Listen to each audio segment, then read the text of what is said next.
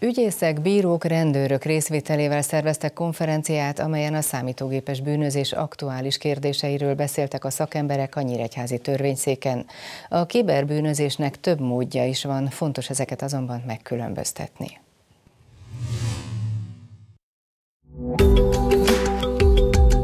Az információs társadalom robbanásszerű fejlődése a jogtudománynak, illetve a jogalkotásnak is kihívást jelent – hiszen a technika fejlődésére a jogi szabályozásnak is reagálnia kell, méghozzá egyre gyorsabb ütemben.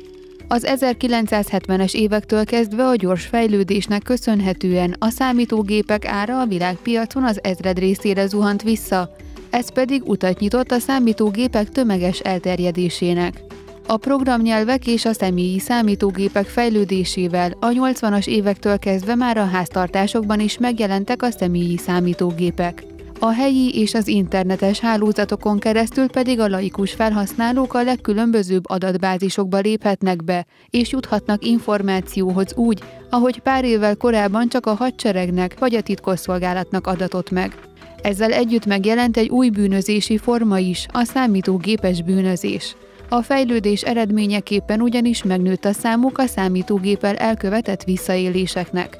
A számítógépes bűncselekmények körében az elkövetők például adatbázisokat törnek fel, bankszámláról pénzt emelnek le, titkos adatokhoz jutnak hozzá, illetve számítógépes programokat másolnak vagy használnak fel illegálisan.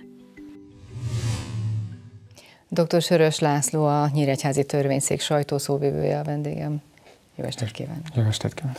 Milyen típusai vannak a számítógépes bűnözésnek, és mennyire gyorsan terjed?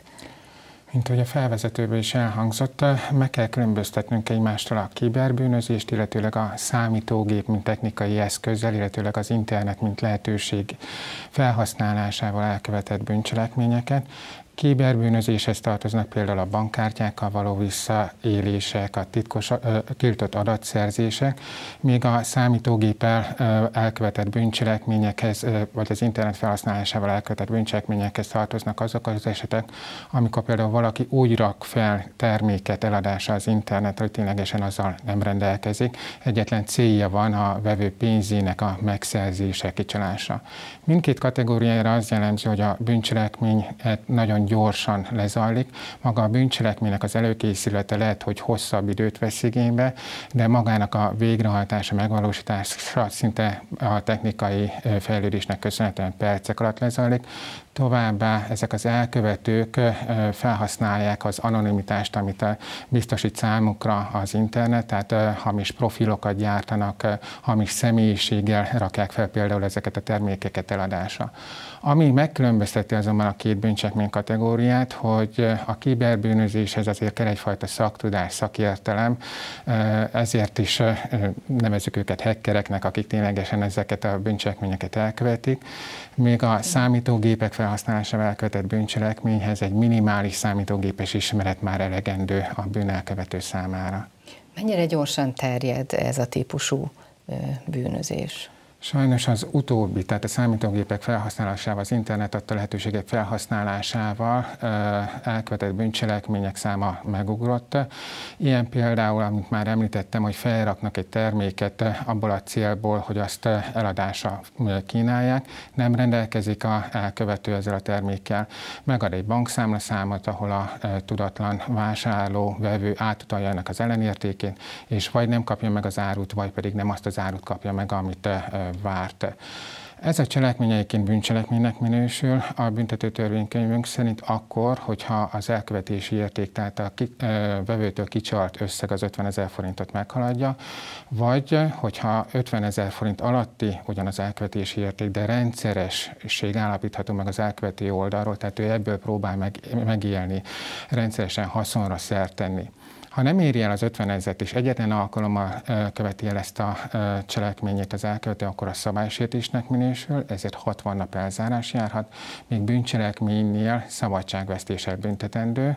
Ez a csalás törvényi tényállását valósítja meg, alapesetben két évig terjedő szabadságvesztéssel büntetendő, illetőleg a jogalkotó még egy kategóriát beemelt ide, hogyha az 50 ezeret nem éri el ugyanaz érték, de az jótékony célú gyűjtést céljából csalja ki a vásárlótól ezt az összeget, már bűncselekménynek minősül. Természetesen az 50 ezer forint feletti elkövetési értéknél minél magasabb az összeg, annál magasabb a büntetési tétel is, tehát akár 10 évig is terjedhet a kiszabható szabadságvesztés mértéke az elkövetési értékhez igazodva. Mennyi a felderítési aránya ezeknek a típusú bűncselekményeknek? Könnyű vagy nehéz megtalálni az elkövetőt? Tény, hogy ezeknél a bűncselekményeknél a technika kihívások nehézséget okoznak. Pont az említett anonimitás az, amit az elkövetők felhasználnak, de nem lehetetlen a felderítésük nagyon, tehát más már a, anélkül tippeket adnék a bűnelkövetőknek, megvan a nyomozóhatóságoknak a különböző lehetőségeik arra, hogy ezeket az ügyeket felderítsék. Én mindenkit buzdítanék arra, még hogyha csak pár ezer forintos kár is érte, tegye meg a feljelentést. Ugyanis, hogyha nyomozó hatóságnál már többen is tesznek ugyanolyan tárgyú feljelentést, akkor az a rendőrség látókörébe kerül, és akkor már nem szabálysértést eljárás indul meg, hanem már büntető eljárás, tehát nyomozni fognak az ügybe, ahol több lehetőségük is van a nyomozóhatóságnak, illetve a sértetteknek is több lehetősége van, hiszen egy büntető eljárásban bejelenti a kárigényét, és azt legkésőbb a bírósági előkészítő ülésen, amelyről értesítik, megerősíti, tehát e, közli, hogy mekkora összegű kár érte, ezt a bíróság neki meg is ítélheti, sőt, ha az ítélet jogerőre emelkedett, a jogerős, jogerős ítélet birtokába, hogyha az elkövető önként nem fizetett, illetékmentesen, tehát plusz költség nélkül kérheti annak a végrehajtását. Van egy másik lehetőség, ami miatt érdemes a büntető eljárás keretében sértetégényt érvényesíteni, ez a közvetítői eljárás. Tehát lehetőség van arra, hogy az elkövető, hogyha vállalja például a közvetítő eljárás lefolytatását, beismeri a bűncselekményt, és megállapodik a sértettel, például, hogy kifizetem a kárt, amit okoztam neked, akkor akár mentesülhet is a büntetőjogi felelősségre vonástól, vagy enyhébb büntetésre is számíthat.